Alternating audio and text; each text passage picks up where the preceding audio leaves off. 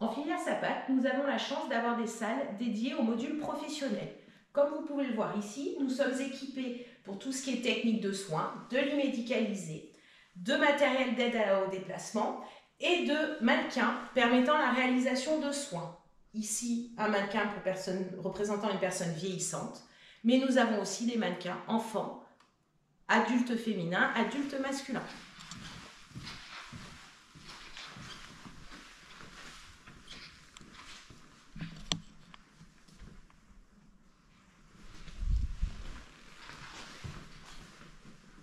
Une deuxième salle plutôt dédiée au domaine de la périculture où on retrouve des poupons avec poids réel ainsi que des tables à langer, des lits, des transats et différents outils de la périculture.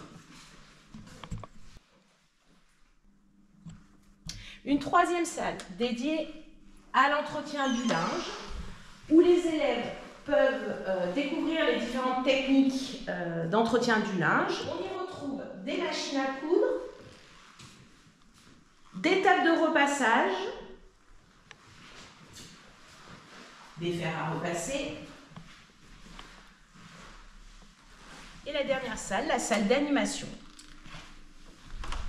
où les élèves apprennent à réaliser des activités manuelles pouvant être réutilisées auprès des différents publics.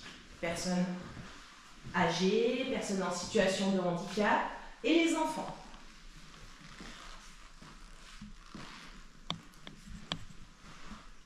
Nous avons aussi deux combinaisons de vieillissement qui permettent aux élèves de se mettre dans la peau de la personne vieillissante et de pouvoir voir les difficultés qu'elles rencontrent dans leur quotidien. La combinaison est constituée au niveau de la tête d'un casque symbolisant euh, les difficultés auditives qu'ils peuvent rencontrer, de lunettes avec effet jaune pour euh, modifier la vision de la personne, une minerve pour rendre rigide l'eau des cervicales et la colonne vertébrale, un gilet muni de poids qui permet d'alourdir euh, la colonne vertébrale et symboliser le poids des années, on retrouve au niveau des bras des coudières qui renforcent la rigidité, ainsi que des poids au niveau des poignets et des gants qui rendent difficiles les mouvements euh, de la motricité fine. Au niveau des jambes, des genouillères qui renforcent la rigidité, ainsi que des poids et des chaussures qui vont rendre le pas plus lourd. Et on peut donc voir que l'élève va avoir des difficultés à lever les bras, pour saisir des objets.